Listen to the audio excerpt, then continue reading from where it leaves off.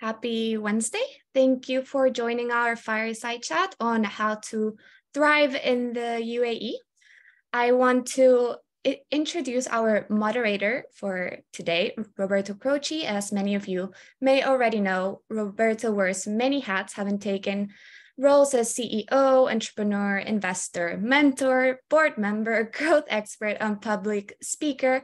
He has over 20 years of experience working for companies such as Microsoft and, and Google. He is now the director of value creation and transformation at the Saudi Public Investment Fund, which is the engine driving the transformation of Saudi Arabia's economy. He is very passionate about innovation, startups, and people, where he thrives mentoring young people up across the globe. I will now pass it over to Roberto. Roberto, it's been a pleasure to have you here as our moderator for this event. Thank you. Thank you so much, Jana. Thank you for uh, inviting me to moderate this session. Always a pleasure to spend time with founders and uh, discuss, you know, about their story. And and today we are going to to to focus on, uh, you know, what it is to thrive in the UAE. So definitely, without any further ado, uh, let's introduce who we have on the panel today. We have founders from two great startups.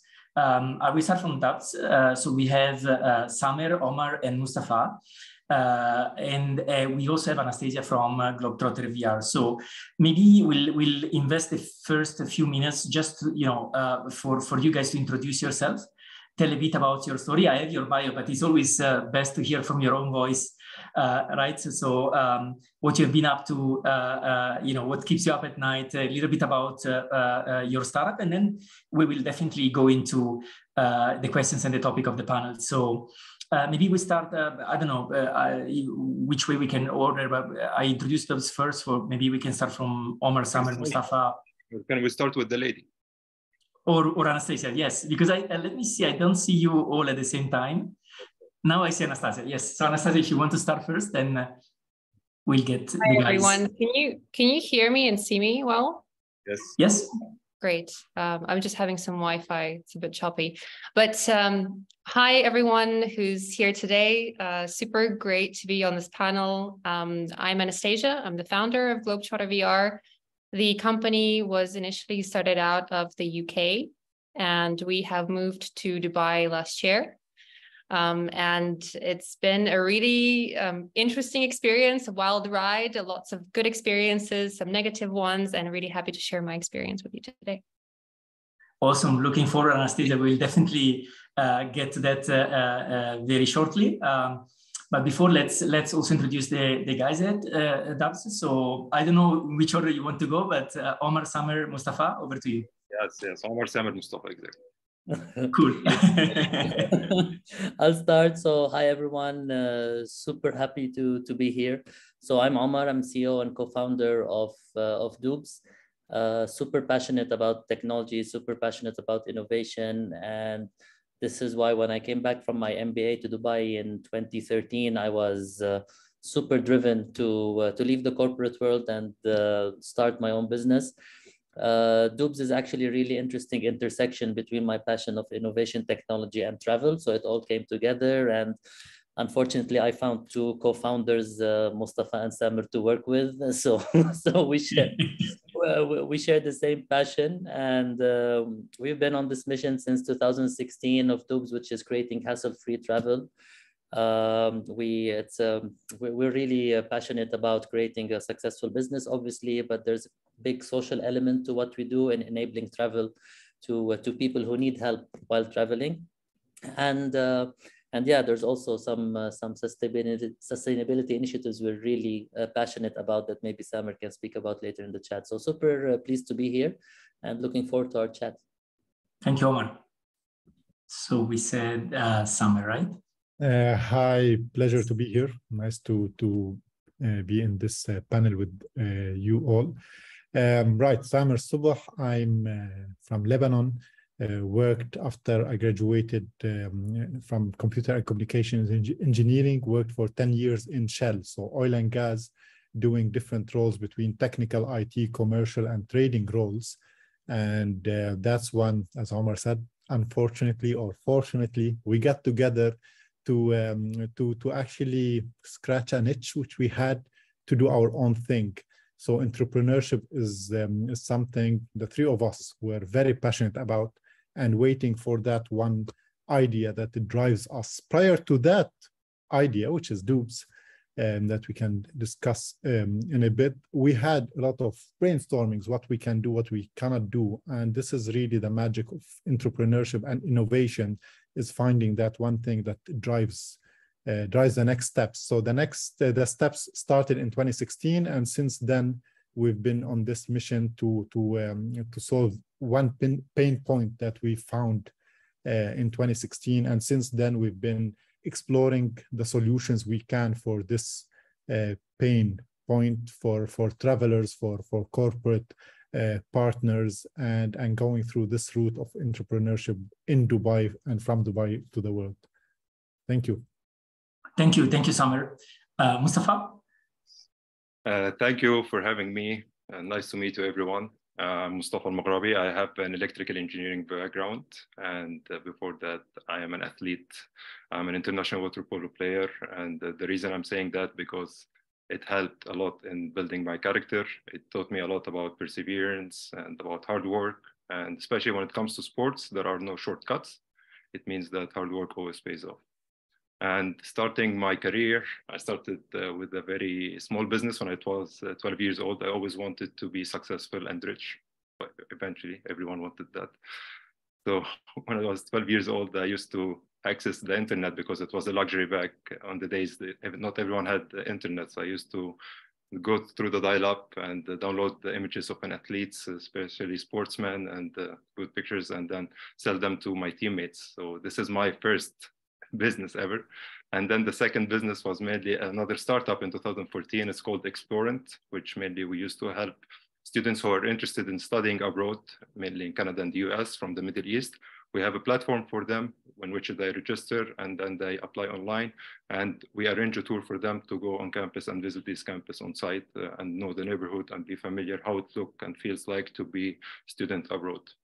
And last but not least, we started Dubz in 2016 and uh, as Omar and Samer mentioned, we have a very interesting story to share and eventually the questions will come and happy to answer any questions you have. Thank you. It's amazing, uh, Mustafa and everyone, right? So it's uh, feel the energy and uh, a lot of excitement and great stories, by the way. So it's it's it's gonna be a, a, great conversation. And by the way, you just mentioned it, Mustafa. I forgot to mention it before. Uh, so for the audience and everyone uh, attending today, feel free to uh, write at any time whenever you know the conversation sparks any sort of questions. just write it in the chat, and we are making sure we will leave probably a good 15 minutes at the end, right? So to cover any any questions that you might you might have.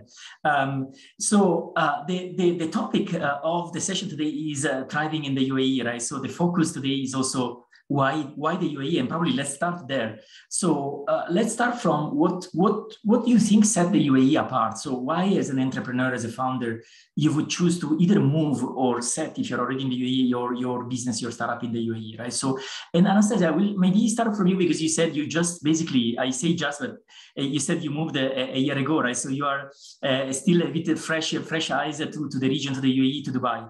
So um, what what made you move and why why the UAE? Uh, sure. There's a couple of reasons for it. Um, I actually came to Dubai for the first time at the end of 2020. So Globetrotter was accepted into the Intilak incubator, and we had to come to GITEX to pitch. And this was a time when the whole world was in lockdown, and it was like the only in person conference that year.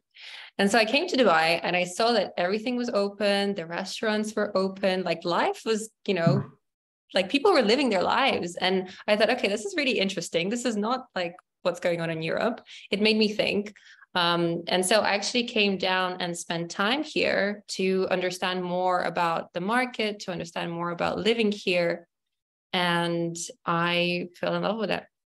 And so we decided to take advantage of the fact that we can set up a company um, and this was provided by Intilak as well as part of their support package to us. So we get um, a space and they're also putting us in touch with DWTC to set up the entity um, to move down here to um, grow in this region. That's that's amazing. You you took me back to those days. Uh, I was there in the GITEX, uh, and and it felt uh, odd or it felt uh, you know something weird or different right? So after after those months of lockdown. Um, uh, omar uh, mustafa samer uh, i address you all but uh, of course whoever wants to take this. So uh, you you were in the region already since since longer right? So why why why do you think the uae for founders is is a place that is is, is thriving and is a, is a good opportunity? Um so yeah, actually, have uh, I think uh, Samer and I and Mustafa a bit later. We've been in uh, the UAE since 2007, so we saw a huge, huge, huge positive uh, transformation. Um, I think if you want to deep dive specifically onto entrepreneurship and and innovation, I think what the, the three elements that you would need as an entrepreneur is infrastructure, uh, is the community, and is access to travel partners. These are the the, the three th main things like infrastructure slash regulation. Uh, for the first part, I think there's no place better in terms of getting access to easy infrastructure in terms of, let's say, communication, internet connectivity to the world, all of these things. Uh, if you want to go to a conference in Europe or in Asia, etc. So Dubai is, is a great place that, that enables uh, all of that. Uh, one area that's uh, also regulation has been uh, improving quite a lot and becoming much more favorable for, for an entrepreneur. It's much easier now to set up a company. Uh, now, free zone or mainland, uh, I think it's becoming all, both feasible options for an entrepreneur. A lot of the overhead costs that we used to incur as a small business that can't afford now, actually, they're, they're no longer required. So there's a lot happening in that sense. Uh, of course, there's a lot of partners that are interested in the innovation scene here now. So access to funding has become easier. For, there's a lot of venture capitalists that either new funds are coming or existing funds are growing. Uh, so which means that startups have more access uh, to capital. And if I want to talk specifically about us, travel, uh, so being part of an incubator such as Intilak that gives us access to dnata, to Emirates, is something really very, very unique. And uh, this is why um, this is why as a travel startup specifically, I feel Dubai is, uh, is a prime, prime location. And last but not least, um, like fellow entrepreneurs, the, we can really connect with them here and in multiple forums. And this makes everything easy. I mean, you need a support group as, as, a, as an entrepreneur and definitely Dubai is a place where, uh, where you have access to that. That's that's amazing, Omar. You just mentioned something, especially when you mentioned the partnership side and on travel, right? So because sometimes we tend to uh, uh, uh, you know compare ecosystems and say we should be the next Silicon Valley, we should be this and that. While every ecosystem have their own unique angles or unique assets, right? So in travel, for example, in the region has been one one of those where uh, you know the region and UAE in particular and, and Emirates Intilak are, are great examples of of you know being uh, being really proud of having creating a platform, right? So uh, and looking at innovation ahead of anyone else and being uh, the global leader in travel, tourism, and, and aviation. Um, I don't know, Samer uh, and and Mustafa, anything you you you want to add on on the UAE or maybe a different angle would be from your perspective, what are the what are the unique marketing or market opportunities, sorry, that the UAE offers to to founders and to startups? Yeah, of course. Before answering the question, I would like to go back what Omar mentioned. Mm-hmm. Is, I have a real example of what happened, especially with Dubz. So we started Dubz in Dubai, right? And they embraced innovation and they liked the story because it was the first of its kind worldwide, maybe, right? So they were very receptive. When I remember when I pitched here in my home country, is like their first question is like, what is it implemented in the world? They don't want to be the first. They don't want to take the risk. They always want to be the the least risk averse. You know, it's like they don't want to take whatever. They want to make sure that everyone has implemented it, and then they will implement it. So this is one of the things that I really like about Dubai is that they want to be the first in everything related to innovation and they don't mind taking the risk and that's why they have this ecosystem of innovation that helping uh, startups to prosper and to collaborate together. That's an amazing point because I just read yesterday an interview to Sundar, um, the CEO of Google, um, where they were challenging him a little bit on, you know, this uh, uh, uh OpenAI, ChatGPT, and Google being perceived to be a little behind, right? So with Bard and everything. And he said, look, in our in our history as Google, we have never been uh, the first but we've been uh, we've been coming after, but doing it better, right? So doing more relevant for for users. So, but but it's true that that this drive and desire to be in the first in the region uh, is has been. Uh, counterbalancing the fact that there is a lot of risk aversity, right? So, and there is stigma around reputation maybe at large across the broader region. So this helps a lot uh, attracting founders, entrepreneurs that really want to, to try new things and to develop new and bring new ideas, new products. Um, Samer, any, any thoughts uh, from you on market opportunities you see from the UAE uh, um, as a founder, as an entrepreneur? Um, like we, we spoke a little bit about regulations, but one big component to our business uh, is security. And I remember when we first met the police, um, they their input was this is a new if you came to us many years ago, we would have immediately said no. However, we have a new requirement that came obviously from top down to change our approach to things from, from security to happiness and, and customer service. Security is their, again, police, this is their job, security, full stop. But they said we, we need to do this right. But when we deal with people, we need to look after people and customer service and they worked with us to reach the regulation required to regulate our business. And this is very, very unique in terms of how uh, the police at this case, but many other regulatory authorities look into things here. And as, as uh, Mustafa said, in our maybe home countries, they have different ways of looking at it that guarantees that a business idea like ours would have never started as, as it did here.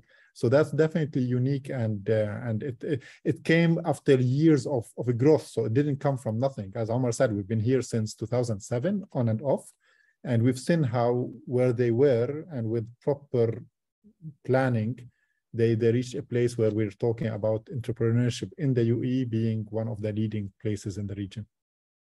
Yeah, that, that's an amazing example, uh, Samer, uh, that uh, you know gets to the root of, of where the UAE is at today, right? So there is this um, uh, dynamic of uh, shifting economy from oil to knowledge based. And this desire that, that Mustafa mentioned right now, right? So being the first, which means there is a lot of emphasis on, on the importance of regulation. And I would add another element to this, which is the speed at which this is happening in the region compared to other more mature ecosystems.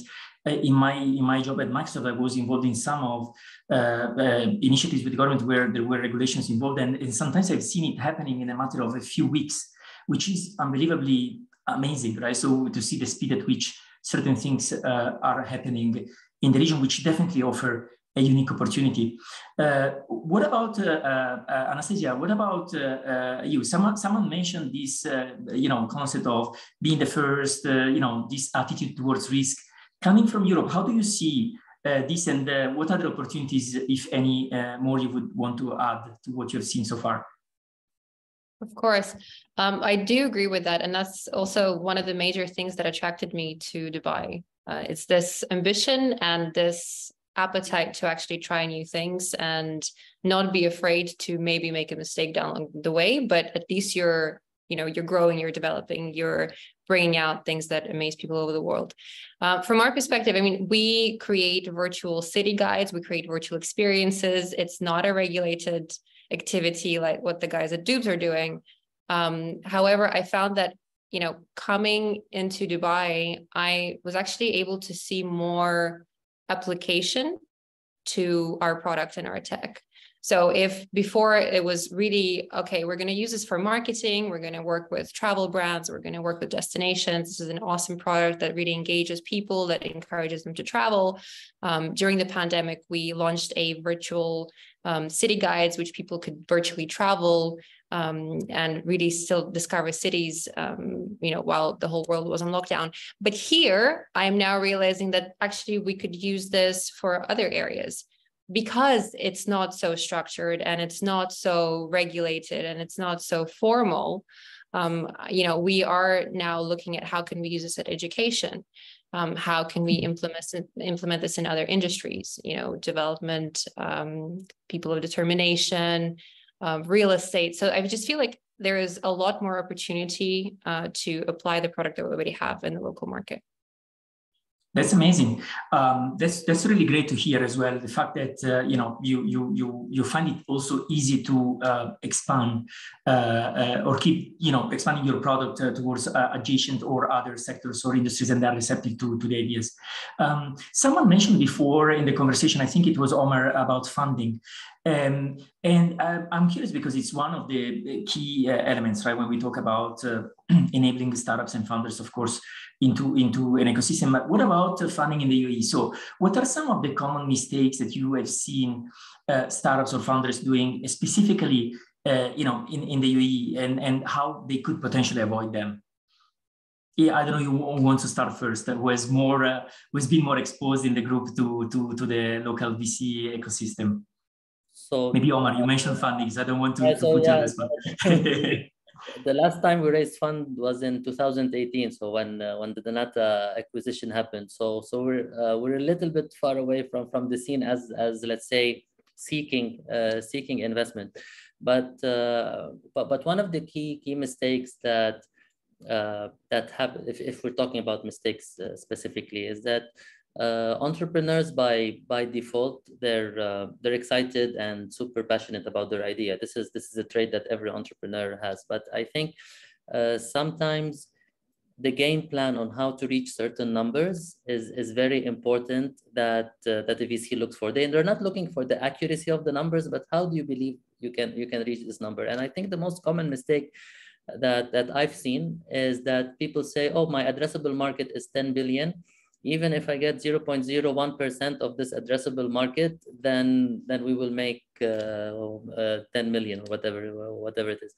So so I think really it's it's when when like every idea is great and but but the game plan how to reach the numbers how to get this very first initial first customer and having a plan to get that first customer is what an investor needs to know because if you can get your first customer and your 10th customer you can reach your target but uh, but just keeping it vague and saying look the market is this big and then even if i get a small fraction of it i'll be successful this is where there's a big gap and an immediate x from an investor that's a, great point. Uh, that's a, a, great point. And having assisted to so many pitches, let's say weekly, uh, you, you, always get to that part of the of the pitch deck, right? So the, the total addressable market, and, and inevitably, uh, uh you know, you, you you hear a, a, little bit of all those stories. But it's very important that founders focus on the plan, how to get to best customers, what's the go-to market, and really uh, what are the, the, the, the, key things that they are doing in you know in the in the next few months uh, to get there. Um, I will I will. Oh yeah, Mustafa, please. Yes. Yeah, I just wanted to add to this point because it's very yes. important. It's like sometimes you go with a business plan for five years, right? And uh, in reality, startups doesn't know this, uh, how, what will happen tomorrow, not in the five years. So as like Mike Tyson said, is like everyone has a plan unless the, until they got punched in the face, right, in the ring. So this is exactly what happens for you as a as a startup. Is like you don't have all the answers, but you have assumptions, and these critical assumptions you need to make sure that exists and that it's accurate and it's um, persistently strong that this is the critical assumption. This is how we're going to reach this uh, mm-hmm. outcome. So this is you have to be very sure of this one. The second mistake I would say about in, uh, in general for all startups when they raise money, never raise too much more than you need, and this is for two reasons. The first one, of course, that you don't want to lose control over your startup. Okay, and the second thing, startups they uh, breed innovation and constraints meaning that they, ha- they need to be resourceful. They need to be having limitations. Otherwise they will not be creative. Otherwise they will be spending money. Maybe they're very stubborn about the idea while they should be pivoting. When they have a limited budget and you didn't raise that money and limited resources you become much more efficient and you try to find the, the economic factor that will make you profitable as, as fast as possible.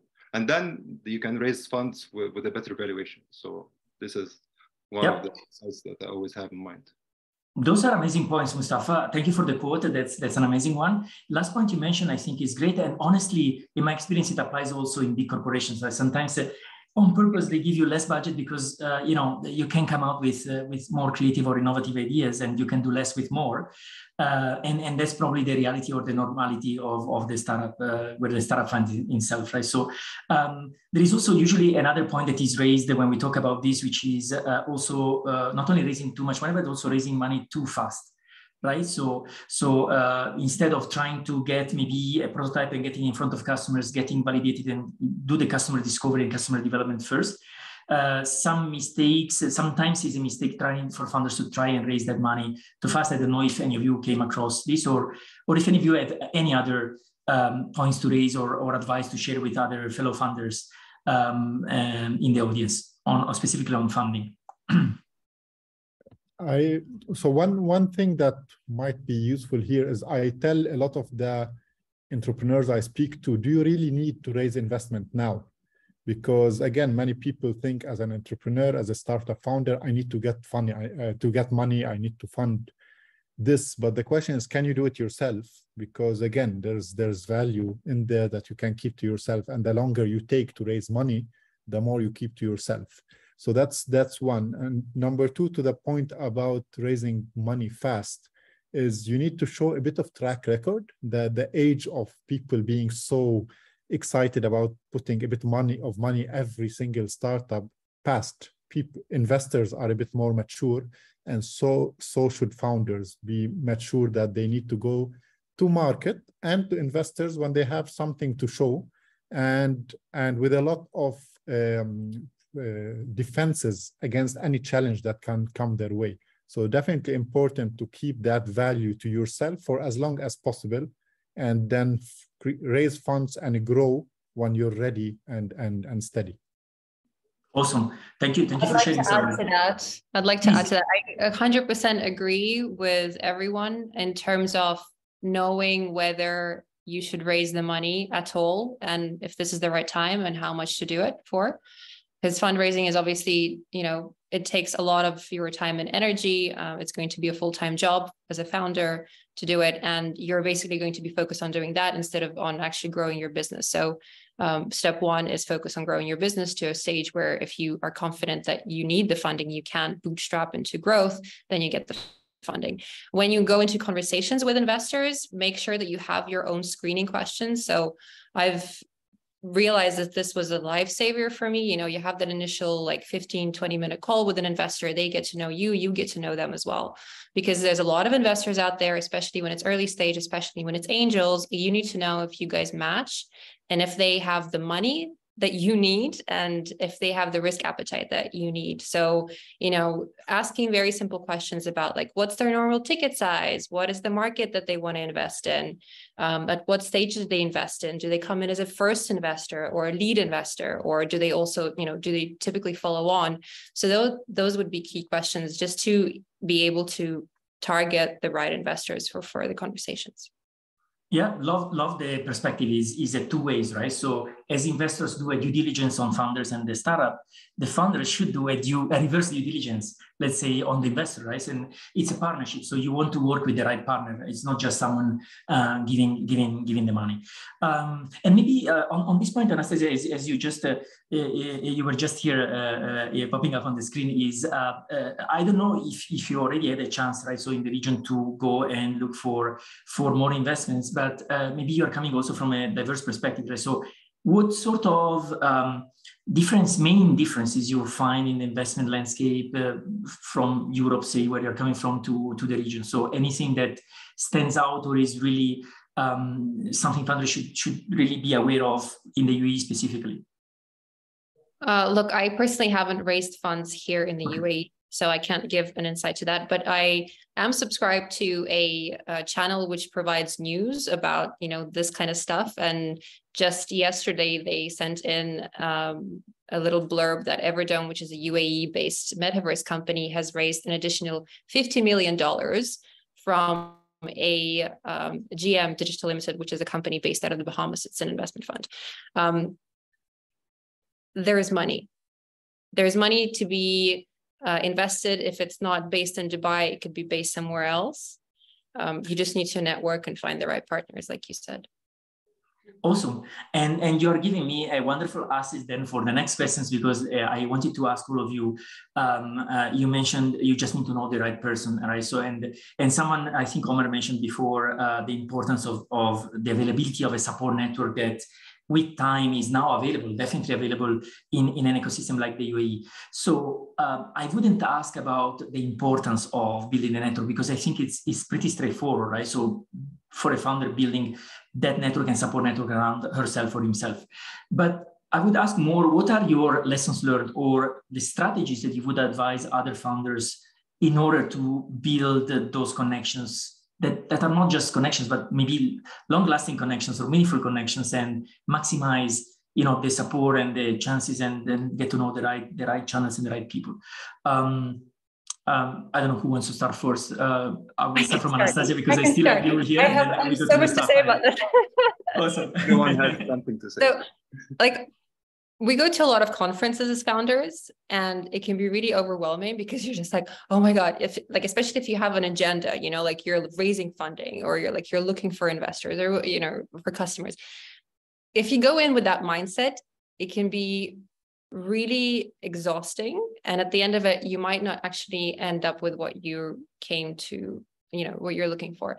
What i found really helpful is when you're going to networking events is actually going there to want to help like your objectives to be okay i want to this is what i can give. These are my like five things that i can give. If those are connections or that's an insight of like how to move to dubai how to set up a company in dubai um, you know anything um, that you can think of if you can even write it down on your phone. Like i do this all the time. I have like a list of things. And you go to the event with that. And if you're as you're meeting people you can offer them this help and ask them what is it that they need? You know and then like people will be like oh i'm looking for a person who can help me open a bank account. And then you know five minutes later you meet someone who works for a bank and you're like oh by the way i just met this person. I want to connect you guys. And that helps you build a much stronger network than going out there and being like okay i'm on a mission to like pitch my startup that's a wonderful uh, feedback is being very specific intentional right so on the reason why you show up and and what you want to get out of that so that's great uh, mustafa i saw you you yeah. were also yeah, in addition yeah. to that, uh, I believe always building the personal relationship is more important than building the business relationship, because on the long term, this is will be more fruitful. Even now, there is no business opportunity between this and this guy or this girl that I met eventually, maybe in the future, there will be business opportunities. And as Anastasia said, the network is close. So every people, everyone is connected. So if you're connected to this person in a deep personal relationship, he will refer you to another network, which eventually will give you better chances of raising uh, funds or uh, be more helpful for you as an investor, as an advisor, as a board member.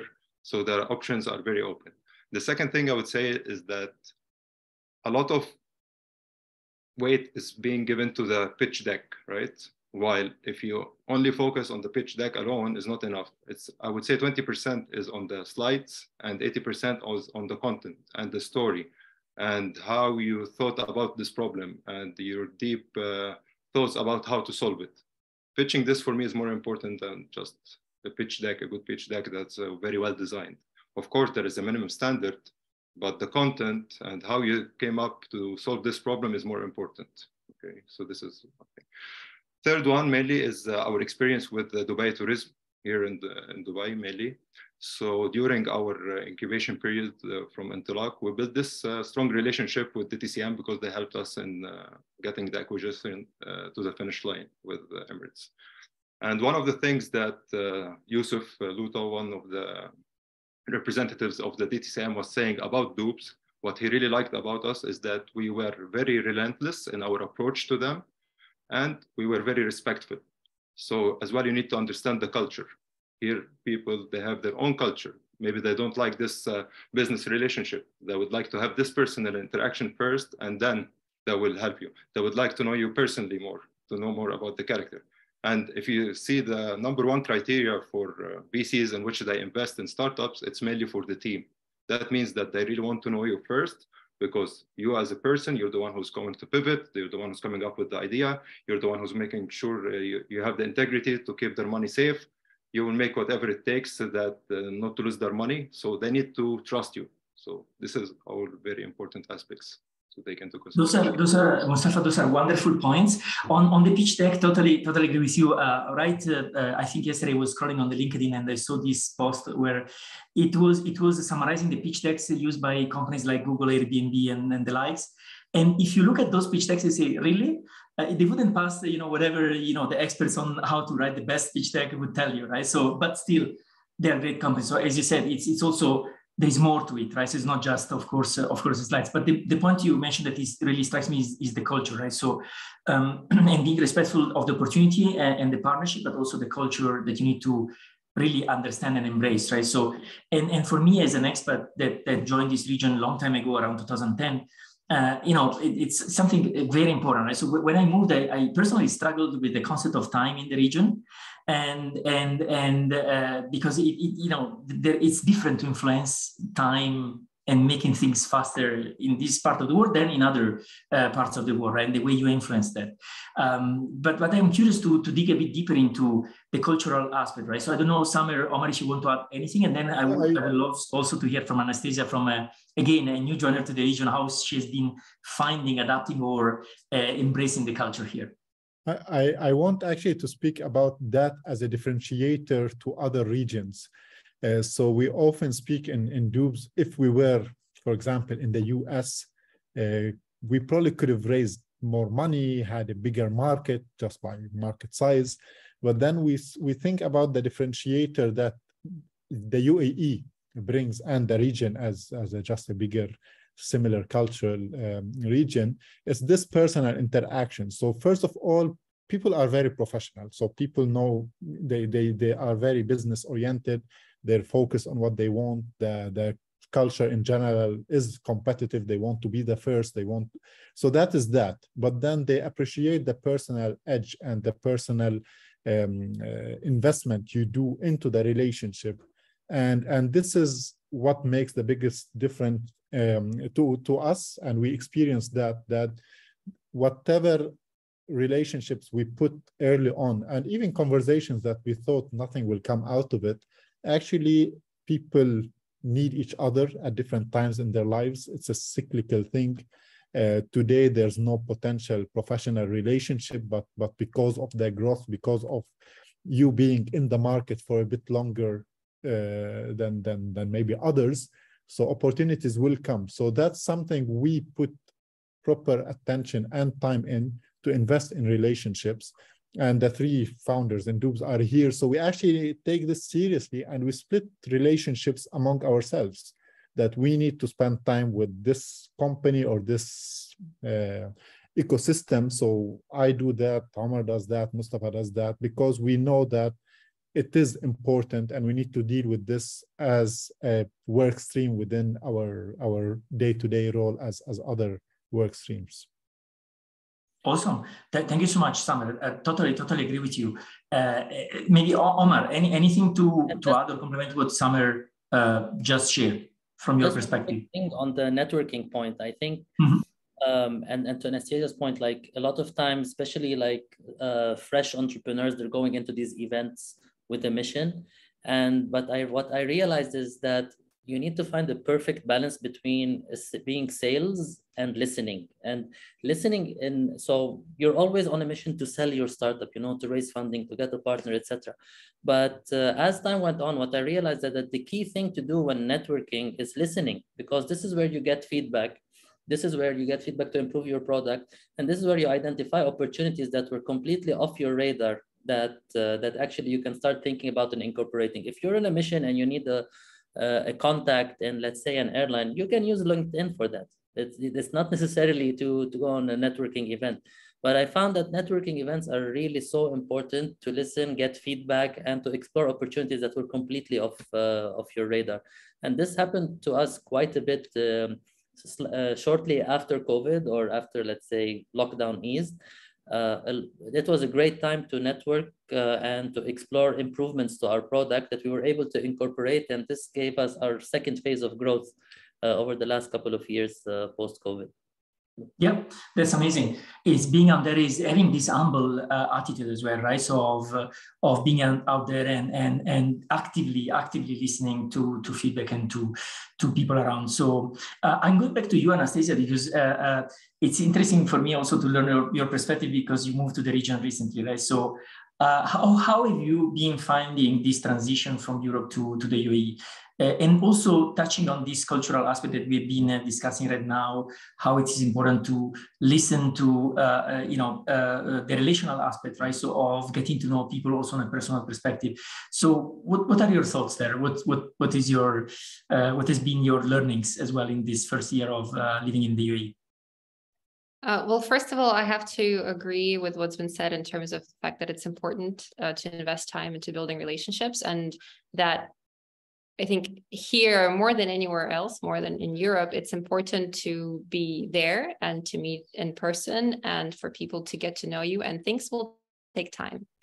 Um, you know, I'm coming from like Europe in London, um, where everything is just like like super quick, super mm. efficient um, everything like is done yesterday. You know i also worked in finance before. So like my experience was just yeah completely different. So it's been an adjustment but it's also a nice thing because you really do get to build real relationships with people and it's not transactional and there's a lot more trust involved um, which is just something that you have to realize and make time for. Um, and you know on the fact that things do take time like it's it's also been an adjustment in terms of setting up the company. Like i think when we had set up the entity it was a pretty smooth process. We were able to do everything remotely. Uh, when we landed here you know our documentation and immigration documents it was just the most smooth efficient pleasant process in the world. I was like oh my god this is the nicest government ever. Um, but then when it came to opening a bank account, it took me six months. I tried three different banks. And the only reason why I was able to finally open one is because actually networking. I um, have a neighbor who's also a founder and we both have dogs. So we bump into each other in the park sometimes and we have these like little cry cry sessions. Like i'll cry to him he'll cry to me and then we go home. Um, so i was crying to him. I was like oh here i can't open a bank account. I'm so fed up. Like what's going on? He's like oh but you should try this new this new internet bank that opened. Um, and I was like, okay. So that's actually the bank that we ended up opening a bank account. And so it was help thanks to that network, you know.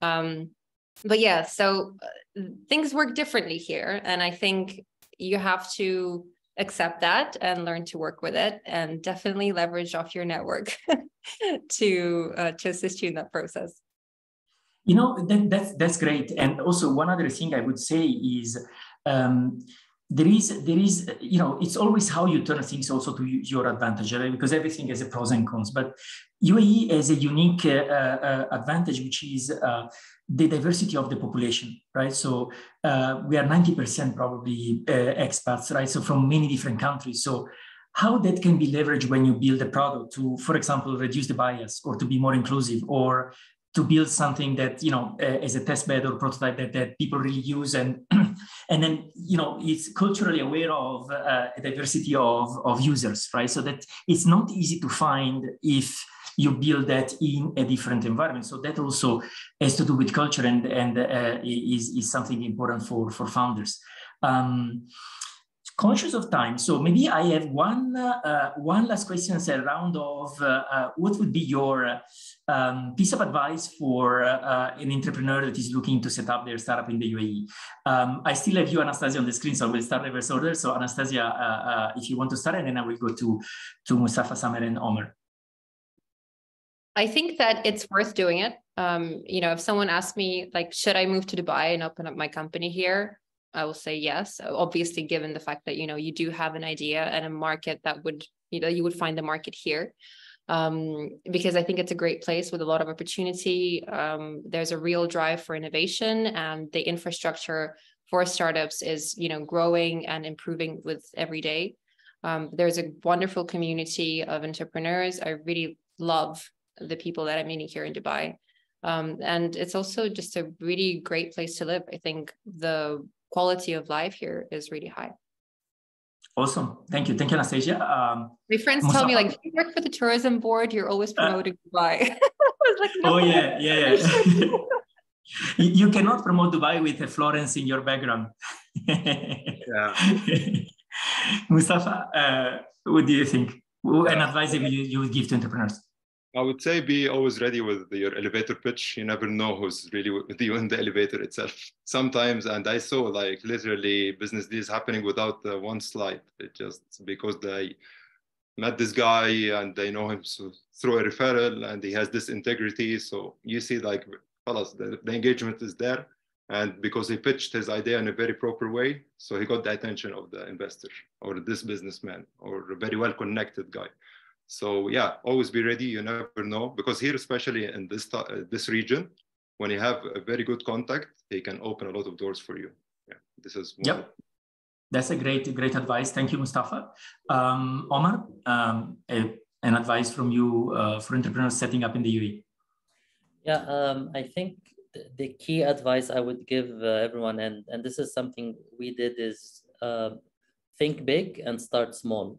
So for us to reach where we are in terms of partnership with the biggest airline and the biggest airport and the biggest ground handler and all of these things, we didn't start from there.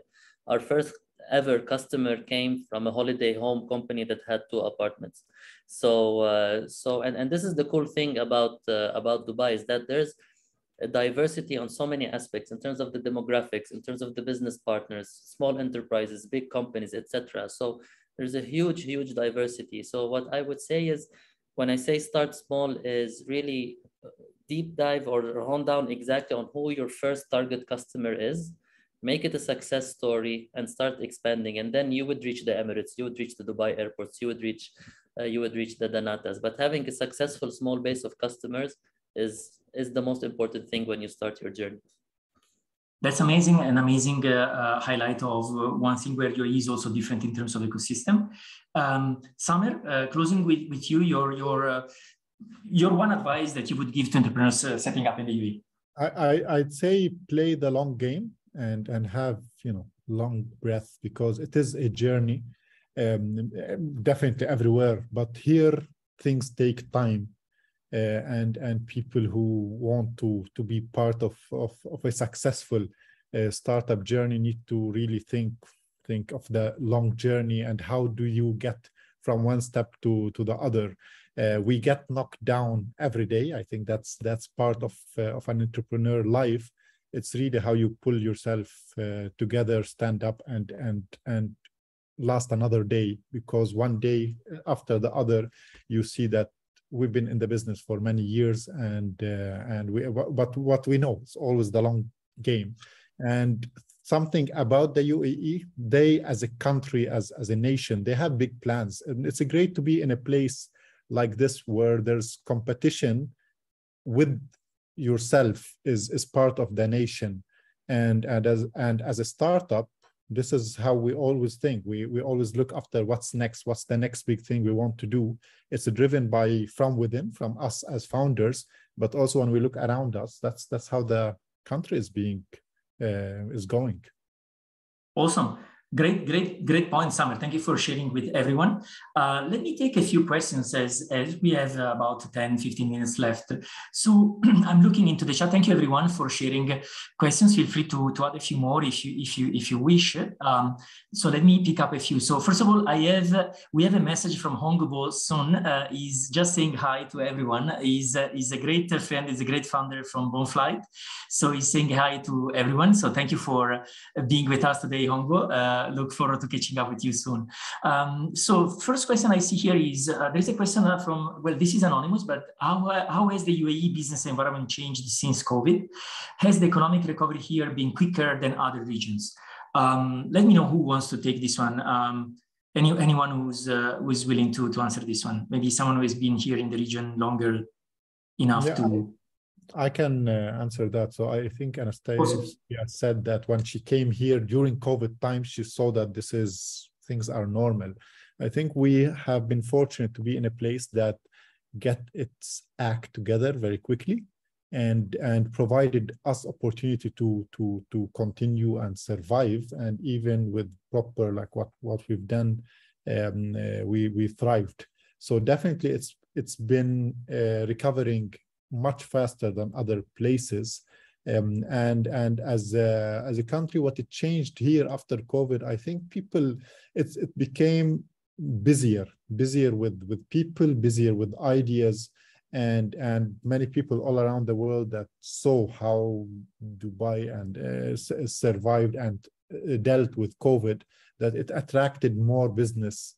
So that's um, that's something we we experienced firsthand, and uh, and we can still on the day every day we see the effect that it's busier in a good way. Yeah, it's it's a great it's a great answer, uh, Samer. And also, uh, you know, people start giving things for granted, right? Because when you get used to something, you maybe don't realize how great some some um, decision uh, was at the time. But if you compare Dubai with similar ecosystem, could have been Hong Kong or Singapore, and how they uh, behaved or reacted to COVID, and how different uh, you know the feeling and the behavior and the humor and, and, the morale of people living there has been compared to what Dubai did, uh, you can really see uh, you know uh, as well you know that Dubai really did something really well you know to manage the, the, the COVID situation and, and, caring really caring about people living in, in the country.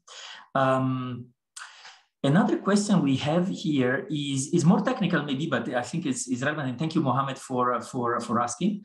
So Mohammed is asking what metrics would define product market fit apart from um, repetitive, repeating uh, customers and organic growth, hype cycle. So anyone who is uh, in love, so Mustafa, I see raising his hand. Yeah, I can take this one because somehow I can relate to this question. So when we started Dubz, actually, it was with a very small growth, and then exponentially we grew, and we got uh, and the acquisition happened, and then suddenly, as you say, the product market fit happened. Okay, and this is when you see the retention is increasing, a lot of people using the same service, and even different use cases that you didn't account for. But the metric that really showed us that we're working on something bigger than that is that when we got a lot of requests from all over the globe, meaning that Saudi got very interested in the solution and we got requests to work with them, even in Portugal, even Spain, even uh, Hungary, Budapest airports. So what I'm trying to say is that when you never, whenever you see that this interest is coming as well from other countries or from other entities outside the region, then this is a good metric for you to understand that you're working on something big. That's amazing, Mustafa. Thank you so much. I would only add one anecdote here to this question is time ago, I had the chance to interview and to spend time with Uri Levine, who is the founder of Waze. And, um, and, and someone asked him exactly uh, the, the, same question. And his answer was something like, um, think about Google uh, 10 years ago and your experience in using Google, right? So going to Google and using it. And think about uh, yourself using Google last week. Did that experience change for you? Most likely the answer is no, right? So, and that's it, that's product market fit. That is definition, right? But this can add a different perspective to, uh, to, to this question. Thank you again, Mustafa, for your answer. Thank you, Mohammed, for, for asking. Um, we have one question more from Nicole. She is asking, uh, what would you say is the best way to stand out as a young company in the UAE? Nicole, thanks for asking. Maybe uh, one that didn't take yet. So Omar, Anastasia, what do you think about this? What's the best way to stand out? Yeah, I, I think um, um, I think we lost Anastasia, uh, but oh. it's um uh yeah uh anyways, yeah, yeah you're I'll, right. Uh, I'll take this one. so uh, so I think uh, obviously all all startups are looking for growth and everyone is selling like growth story. I think what really differentiates is keeping true to yourself and have um, an objective which is outside just the financial or economic uh, objective? Is there a social uh, a social impact to what you're doing? Is there a sustainability impact to what we're doing? This is why us at Dubz, we um, we changed a lot. So this always has been our mission, but now we're letting it come out in our uh, messaging more is there is a big social element to what we do. If you're an elderly person that wants to travel, if you're a person of determination, if you're a family with five kids and you're canceling your travel plans because you're too overwhelmed with traveling with kids, this is where Dubz comes in to make travel more, more hassle-free. And this is where this is where the message started resonating and started have establishing this connection with customers. So I would say really from, from the onset, don't just focus on the economic goal, but also the social goal, because this what keep you um, this is what keeps you driven. Uh, your your path as an entrepreneur is going to be very tough. and uh, you're going to be far off from for your, your financial goals, very far off from your financial goals in, in, in, the, in the beginning. So, uh, so this is why you need something to keep you motivated until you reach this point and you start exponentially growing. That's an amazing answer, Omar. Thank you so much and and yes probably it's not uh, only uae right? But but i think yes uh, standing out by solving real problems is already a great great way to to, to stand out. Uh, real problems that of course have an impact on on on the life of, of everyone. Um, anastasia i see i see you're back. Uh, i don't know if you also want to give your perspective on this uh, question because then we have a last question i see here that could be a good way to close with uh, everyone points of view but the, the question from Nicole was, uh, what would you say is the best way to stand out as a young company in the UAE? Uh, you're also a young company, say, in the UAE. Uh, what do you think is the best way to stand out? Um, I believe that it's really important to deliver on your promises, and it's it's a good strategy to build a good track record. So it goes back to what we were saying about networking, and back to this thing of you know um, metrics and word of mouth you know people are going to use your service or your product. Are they going to recommend um, it to their friends or their partners their colleagues? Um, there's you know a lot of things that can happen where people are promising a lot but they're not delivering. And i think uae is really um, a young market where a company that delivers on their promises can go a long way. Awesome Anastasia, thank you so much. Um, we have a final question here that um, uh, we can use as a, as a, final question for everyone uh, in, in the panel, right? So uh, this is a question from Fatima. Is asking if you were to describe the UAE startup ecosystem in one word, what that would be and why, uh, and you cannot use ChatGPT. Who wants to I start? I would describe it as vibrant. Uh, okay, vibrant, vibrant. because there's um, a lot of diversity here. There's a lot of really interesting founders, a lot of really cool ideas. Um, there's a lot of energy in here. So yeah, vibrant. Awesome, vibrant. Uh, who else? I would say uh, I was going to say welcoming. So they welcome everyone. Exactly what Anastasia said is like they're open to everyone, different nationalities, different backgrounds, and they don't say no to new ideas. And back to the question is like, what's the best way to stand out in Dubai? Whenever or UAE is mainly when you have a story, a nice story from UAE to the world, they will embrace it because this is what they really want to be. They want to be the first. So anything that will help them achieve this, it's a nice PR, it's a nice story. They will always embrace it and uh, encourage it. Awesome. Thank you. Thank you, Mustafa. Um, Omar, Samer? Uh, I would say it's uh, future proof uh, in, in the sense that whatever is being built here is not to capture a particular moment, which is now it's actually building fundamentals which would provide lasting growth and a good infrastructure or good environment for entrepreneurs for many years to come. Uh, the best best example is there's a ministry of AI uh, in the UAE. I mean, this is something super unique. While you have some countries banning ChatGPT, uh, you have countries here. don't, don't mention which country, please. so, so you have actually here countries with uh, with the Ministry of AI. So definitely forward looking and future proof. awesome, um, Samer.